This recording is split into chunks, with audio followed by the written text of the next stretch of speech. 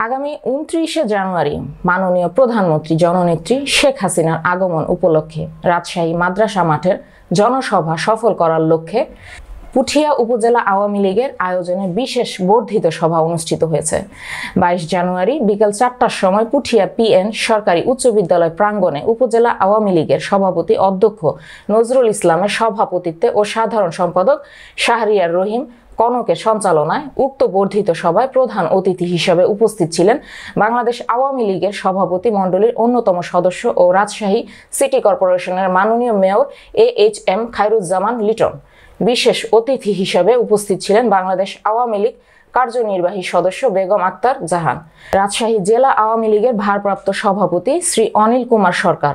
রাজশাহী পাঁচ আসনের সংসদ সদস্য প্রফেসর ডাক্তার মোহাম্মদ মনসুর রহমান, রাজশাহী জেলা আওয়ামী লীগের সাধারণ সম্পাদক আব্দুল ওয়াদুদ দারা জেলা আওয়ামী লীগের সহ সভাপতি জাকিরুল ইসলাম শান্টু, পুঠিয়া উপজেলা পরিষদের chairman G M Hira Bachchu জেলা আওয়ামী লীগের যুগ্ম সাধারণ সম্পাদক লায়েব উদ্দিন লাবলু, ভাইস চেয়ারম্যান আব্দুল মতিন মুকুল, উপজেলা যুবলীগের সভাপতি Rabiul Islam Robi, Shilmaria UP chairman Sajjad Hossain Mukul, Bhalukgachhi union পরিষদের chairman Mohammad Zillur Rahman Puthia UP chairman Ashraf Khan Jhontu Belpukuria UP chairman Badiuzzaman Badi সহ উপজেলা আওয়ামী লীগের বিভিন্ন পর্যায়ের নেতাকর্মীরা উপস্থিত ছিলেন।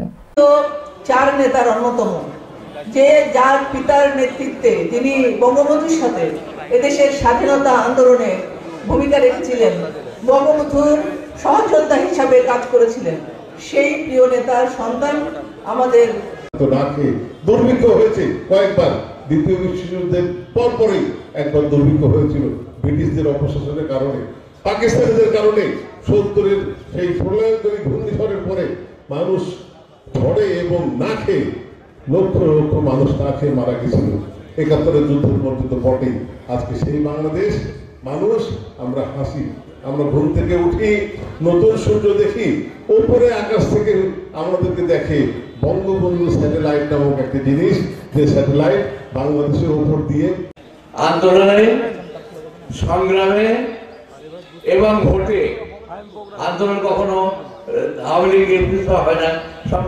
উনত্রিশ তারিখে লোক চলার জন্য আমি দুই থানায় বলে দিয়েছি, যদি কেউ নিজে পারেন চেষ্টা করবে। তাহলে সকল প্রকার সহযোগিতা, বিভিন্ন আর্থিক সহযোগিতা আমি দান করব আপনাদেরকে, ইনশাআল্লাহ, যাওয়ার জন্য।